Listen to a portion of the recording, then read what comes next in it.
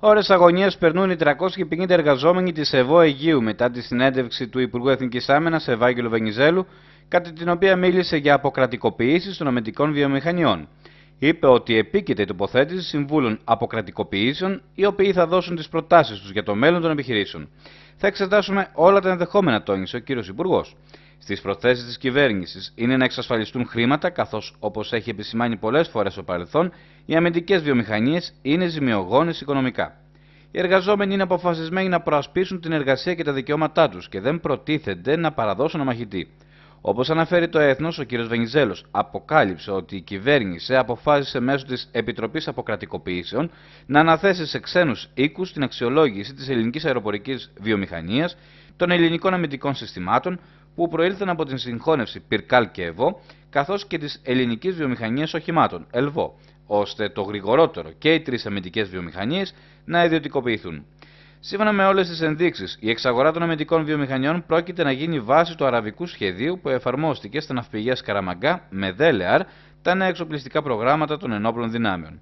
Γι' αυτό, παρότι σήμερα και οι τρεις ελληνικές κρατικές αμυντικές βιομηχανίες είναι σημειογόνες, εμφανίζονται μνηστήρε από όλη την παγκόσμια αγορά, καθότι γνωρίζουν ότι διαθέτουν πρίκα ύψους 7,5 δισεκατομμυρίων ευρώ. Πιο συγκεκριμένα, για την εξαγορά της ΕΑΒ με τους 1.200 εργαζόμενους εκδηλώνουν ενδιαφέρον όλες οι μεγάλες βιομηχανίες αεροναυπηγικής, που διεκδικούν το ελληνικό πρόγραμμα του μαχητικού αεροσκάφου 4η γενιάς ύψους 5 δισεκατομμυρίων ευρώ. Για την εξαγορά των ΕΑΣ με τους 1.600 εργαζόμενους που εδώ και χρόνια φυτοζωή εκδηλώνουν ενδιαφέρον εταιρείες από τη Γερμανία, τις ΗΠΑ και το Ισραήλ.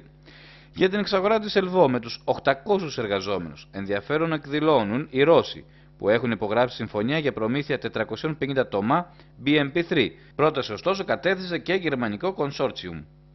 Η κατάσταση στην αμυντική βιομηχανία τα τελευταία χρόνια επιδεινωνόταν καθημερινά. Τα χρέη ανέρχονται σε 2,2 δισεκατομμύρια ευρώ. Ο επιχειρηματικός σχεδιασμός στην αμυντική βιομηχανία περιοριζόταν στην έβρεση δανειακών πόρων για μισθοδοσία και λοιπά λειτουργικά έξοδα. Καμία μεταρρυθμιστική πρωτοβουλία δεν άγγιξε τις εγχώριες κρατικές βιομηχανίες μία ολόκληρη πενταετία αφέθηκαν να φθήνουν σε μια περίοδο που στον διεθνή χώρο έχει γιγαντωθεί το κύμα συγχωνεύσεων και εξαγορών, με αποτέλεσμα τη δημιουργία ισχυρών, βιώσιμων επιχειρηματικών σχημάτων.